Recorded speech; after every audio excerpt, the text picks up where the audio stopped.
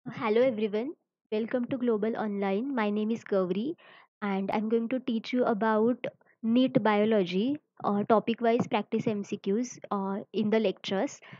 So, uh, first of all, I'm going to take the first topic that is living world. तो uh, हम NEET के complete courses भी देने वाले हैं with guaranteed and easy solutions to your questions so for that you can whatsapp on this number okay So as we know that our हमारा जो syllabus है बायोलॉजी का नीट का, वो दो पार्ट्स में डिवाइडेड है। So the first part is botany and the second part is zoology so I am going to take M C Qs in the first topic that is the living world so let's start so our question first question is an attribute found in plants but not animals is so the meaning of this question is that plant में ऐसा कौन सा attribute है जो animal में नहीं है? Okay so the options are first option is autotrophy second option is sexual reproduction third option is metabolism fourth option is asexual reproduction so हम पहले देखते हैं कि what are these options so what is autotrophy autotrophy का मतलब है खुद का खाना, खुद बनाना। मतलब autotrophy means prepare own food okay what is sexual reproduction sexual reproduction means fusion of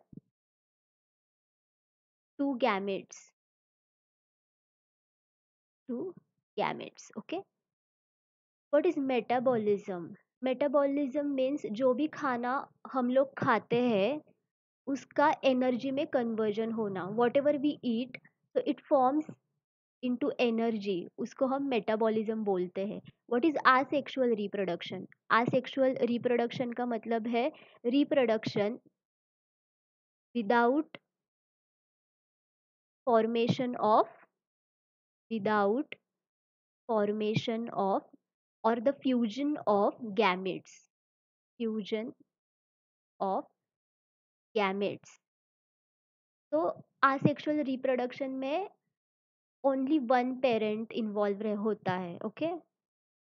और सेक्सुअल रिप्रोडक्शन में टू पेरेंट्स होते हैं ओके तो it involve two parents right तो ऐसा कौन सा यहाँ पे एट्रीब्यूट है जो प्लांट में है पर एनिमल में नहीं है? तो यहाँ पे सेक्सुअल रिप्रोडक्शन तो दोनों में भी है। सेक्सुअल रिप्रोडक्शन एनिमल में भी होता है और प्लांट में भी होता है। मेटाबॉलिज्म प्लांट में भी है और एनिमल में भी है। आसेक्सुअल रिप्रोडक्शन प्लांट में भी है और एनिमल में भी है। तो the only attribute that remains is autotrophy it means autotrophy only plants में है बट एनिमल्स में नहीं है। बिकॉज़ प्लांट्स खुद का खाना खुद बनाते हैं, वो भी फोटोसिंथेसिस प्रोसेस से okay by the process of photosynthesis but animals को प्लांट्स पे या फिर दूसरे किसी एनिमल पे डिपेंड रहना पड़ता है for their food they don't prepare their own food so our answer for this question is one that is autotrophy so now our next question is reproduction cannot be so re- reproduction क्या नहीं हो सकता so the options here are first is asexual second is characteristics of living organisms third is synonyms of growth in multicellular organism fourth is a form of fragmentation so reproduction cannot be so asexual हमने पिछले question में देखा कि reproduction asexual भी हो सकता है यानी कि इसमें ओनली वन पेरेंट इन्वॉल्व होता है बट रिप्रोड्यूस तो वो कर सकता है without the fusion of gametes. तो ये तो ऑप्शन नहीं आएगा। Then second option is characteristics of living organisms reproduction, ये लिविंग ऑर्गेनिज्म का कैरेक्टरिस्टिक है या नहीं? Obviously it is the characteristic of living organism because इससे लिविंग ऑर्गेनिज्म की पहचान बनती है कि वो रिप्रोड्यूस करता है ओके okay? तो लिविंग ऑर्गेनिज्म की ग्रोथ होती है मतलब लिविंग ऑर्गेनिज्म की जो ऑफस्प्रिंग होती है, वो होती है because the process of reproduction तो it is one of the characteristic of living organism तो ये ये भी ऑप्शन नहीं आएगा. Then our last option is a form of fragmentation. So what is fragmentation? Fragmentation यानी कि एक ऑर्गेनिज्म से दो ऑर्गेनिज्म का होना by the formation of fragments मतलब ये एक से दो हो गए by forming the fragments of this one okay तो ये किसमें होता है? For example fungus fungus okay तो फंगस में एक ऑर्गेनिज्म दो ऑर्गेनिज्म को प्रोड्यूस करता है बाय द फ्रैगमेंटेशन प्रोसेस तो ये भी एक रिप्रोडक्शन का ही फॉर्म है बिकॉज़ यहाँ पे दो ऑर्गेनिजम्स पैदा हो रहे हैं so it is the form of reproduction तो ये भी ऑप्शन नहीं आएगा। तो the remaining option is synonymous of growth in multicellular organism because multicellular organism की जो ग्रोथ होती है मल्टी सेल्यूलर ऑर्गेनिज्म की जो ग्रोथ होती है, वो रिप्रोडक्शन रिप्रोडक्शन की तरह नहीं होती। Okay okay. बट अगर हम यूनिसेल्युलर ऑर्गेनिज्म ले यूनिसेल्युलर ऑर्गेनिज्म फॉर एग्जांपल अगर आप अमीबा ले लो अमीबा तो अगर उसकी ग्रोथ हो जाए ग्रोथ हो जाए तो वो ग्रोथ हो हो के दो अमीबा बन जाएँगे ओके तो इसका रिप्रोडक्शन भी हो रहा है और ग्रोथ भी हो रहा है। तो it is is of growth in unicellular organism. But not in multicellular organism so our correct option is 3 that is synonymous of growth in multicellular organism so reproduction cannot be synonymous of growth in multicellular organism okay so now now our third question is increase in number can be increase in number can be मतलब यहाँ पे जो पूछा गया है कि increase in number of cells can be okay so जब भी आप कोई भी क्वेश्चन पढ़ते हो तो उस, उसका मीनिंग भी याद में रख लो कि what is the meaning of the question अगर आपको मीनिंग समझ में आए तो you will understand the option as well and the answer भी आपको समझ में आ जाएगा। तो our option are growth reproduction both one and two and fourth is accumulation so what is growth growth का मतलब क्या है? Growth means if we take cell और हमें पता है कि उसमें साइटोप्लाज्म में रहता है, ओके? तो इस साइटोप्लाज्म की जो ग्रोथ होती है, that is growth in size तो उसको हम ग्रोथ बुलाते हैं। अगर आप सेल के और नीचे जाए, for example within nucleus तो उसमें हमें पता है कि वहाँ पे क्रोमोजोम्स होते हैं क्रोमोजोम्स तो increase in number of chromosomes इसको भी हम ग्रोथ बुलाते हैं बिकॉज़ इस ऑल इन सब चीज़ों से सेल की ग्रोथ होती है। सेल की ग्रोथ होती है। तो इन सब चीज़ों के बाद क्या होता है? सेल डिविजन तो एक सेल से दो सेल बनते हैं। एक सेल से दो सेल बनते हैं। तो इसे हम ग्रोथ बुलाते हैं। What is reproduction reproduction means formation of organism from one parent organism तो it can be asexual reproduction और सेक्सुअल रिप्रोडक्शन तो यहाँ पे तो नंबर की इंक्रीज हो ही जाती है मतलब पेरेंट से उनका ऑफस्प्रिंग होता है okay okay? It is called as reproduction and And is is accumulation? Means aggregation of something मतलब कुछ मिला के वगैरह, वो करके एक चीज़ बनाना, उसे एक्यूमिलेशन बोलते हैं।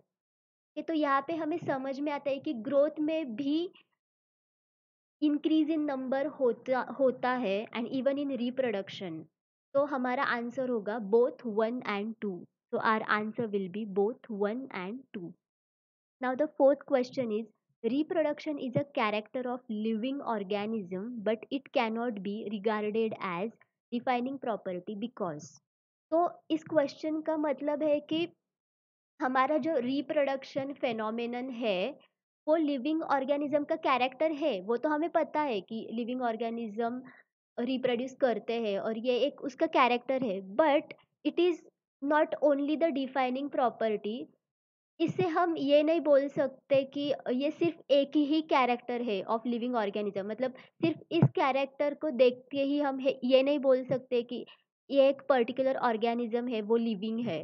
ओके सो ऐसा क्यों?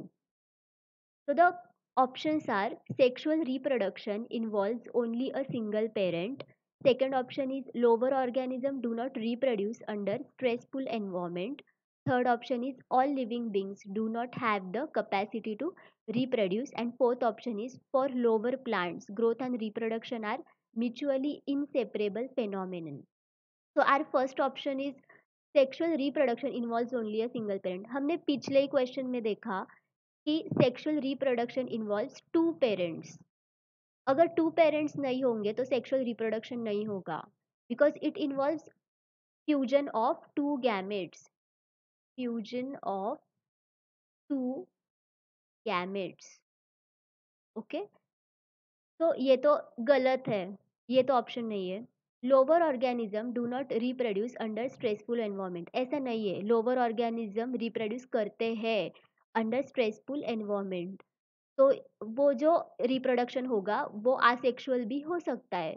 अगर स्ट्रेसफुल एनवायरमेंट है तो वो आसेक्सुअल रिप्रोड्यूस करेंगे। बट इसका मतलब ये नहीं है कि वो रिप्रोड्यूस ही नहीं करेंगे।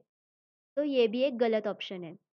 Then our fourth option is for lower plants growth and reproduction are mutually inseparable phenomenon नहीं, ऐसा नहीं है। For lower plants growth and reproduction are the same they are not mutually inseparable phenomenon तो ये भी एक गलत ऑप्शन है। तो द बचा ऑप्शन ये है कि all living beings do not have the capacity to reproduce yes this is our correct answer because we know that जो भी ह्यूमन कपल्स रहते हैं इनफर्टाइल कपल्स वो रिप्रोड्यूस नहीं कर पाते. बट हम उनको ये नहीं बुलाते कि वो लिविंग नहीं है. ओके तो all living beings do not have the capacity to reproduce is our correct option. and because of that reproduction is a character of living organism but it is not regarded as defining property okay so the answer is 3 now fifth question photo period effects so photo period effects is the question so यहाँ पे पूछा गया है कि photo period का जो effect होता है वो किस पर होता है so first of all we will see the options the options are reproduction of seasonal breeder animals only metabolism of seasonal breeder animals metabolism of seasonal breeders and fourth is reproduction of seasonal breeders तो हम पहले देखते हैं कि what is photo period photo का मतलब क्या है लाइट और पीरियड का मतलब time okay so photo period means day length day time day time तो इसका जो भी कुछ अफेक्ट होगा लिविंग ऑर्गेनिज्म पे मतलब लिविंग ऑर्गेनिज्म जो भी कुछ डे टाइम में लाइट एब्जॉर्ब करेगी तो it is called as photo period मतलब the day length day time okay so the first option is reproduction of seasonal breeder animals only yes photo period seasonal breeder animals पे affect करता है because it affects Mela okay it affects the the of of because uh, इससे reproduction depend है। तो ये affect करता है। Then next is metabolism of seasonal breeder animals and th third option is metabolism of seasonal breeders. Metabolism of seasonal breeder animals and the third option metabolism metabolism of seasonal breeders तो इन दोनों में photo period affect नहीं करता। And the last option is reproduction of seasonal breeders तो this is our correct option because first option में सिर्फ़ animals only बोला है but photo period also affects plants reproduction in plants because plants में जो भी कुछ फ्लावरिंग होती है वो लाइट पे डिपेंड होती है। ओके okay, अगर फ्लारिंग ही नहीं होगा तो पॉलिनेशन नहीं होगा। पॉलिनेशन नहीं होगा तो प्लांट में रिप्रोडक्शन नहीं होगा। Okay so our fourth option is our correct option thank you for watching this video so if you have any suggestions or comments or anything then please ask me in the comment box and stay tune for another lecture